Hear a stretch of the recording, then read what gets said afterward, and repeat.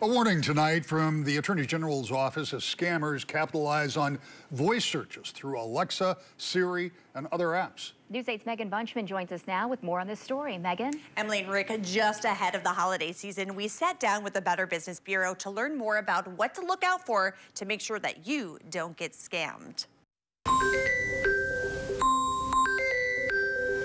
Shoppers beware, the next wave of scams are hitting the Mitten State. This is a new, newer twist on a pretty common scam. As scammers cash in on people relying on voice searches through Google Home, Siri, and Alexa. You have to be vigilant and you have to remember that even though our phones are smart, sometimes we are actually still smarter and we have to use our own brains to look up those numbers to verify who we're talking to and make sure that it, it actually is associated with the company we meant to contact. Katie Grevious with the Better Business Bureau says that even if you Google a number, the first link that pops up on that search or that of what your Alexa app finds isn't always the actual business that you're trying to call. Scammers know that we're relying on that social media to do all that searching and heavy lifting for us.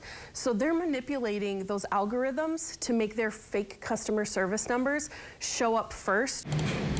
In many cases, scammers will boost their own numbers algorithm to come up first in an internet search and use similar website names to take advantage of the most vulnerable callers. Scammers are so smart. They are so intelligent. They know how to manipulate the system. They know how to be one step ahead of us, so we have to defend ourselves and try to be just as smart. To avoid a drained bank account or another financial headache, Grevious says you should always verify the number you're calling through a previous bank statement, bill, or an official note. Watch out for phony ads that pop up on social media, and when all else fails, use a credit card. A lot of credit card companies, they offer some extra help in that background to fight off of those scammers and help you maybe recover some of that money.